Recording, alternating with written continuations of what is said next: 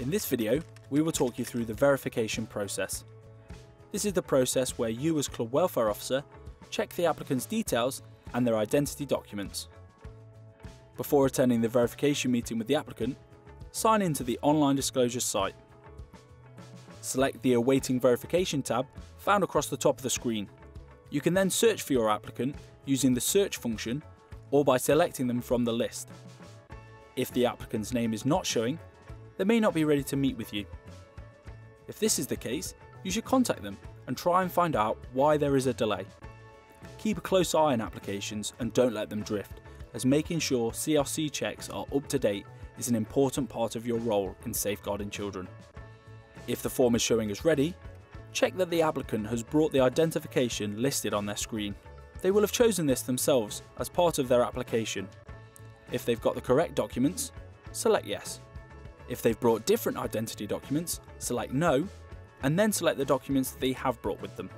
You should enter the identification details as requested for each particular ID and click accept.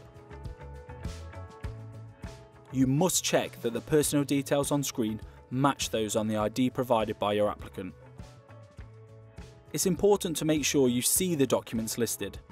It's only by being sure that you have seen the documents that the police will be able to get an identity match and check the correct records.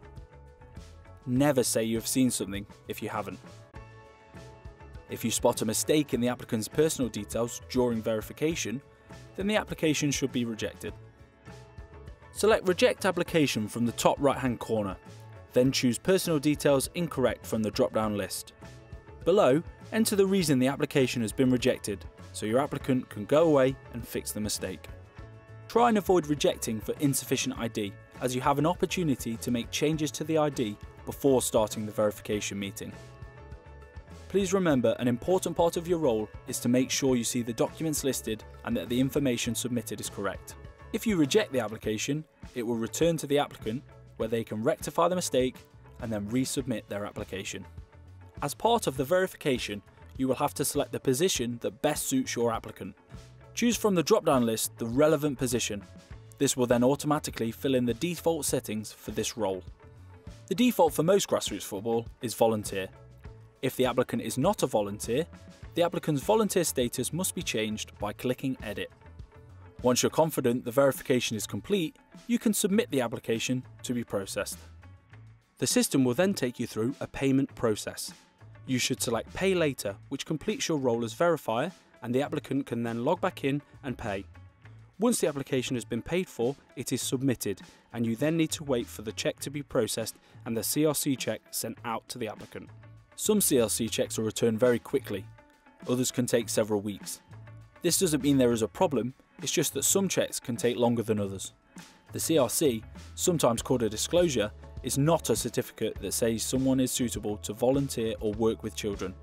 It is only a record of police information and a check of the barring lists. When you see the word complete on your online disclosure system, it does not mean the person is suitable to work with children.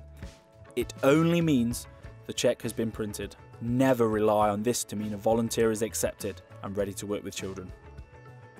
After the check has been printed, the FA then makes the decision on the person's suitability to work or volunteer with children. Watch video 4 to see this final stage.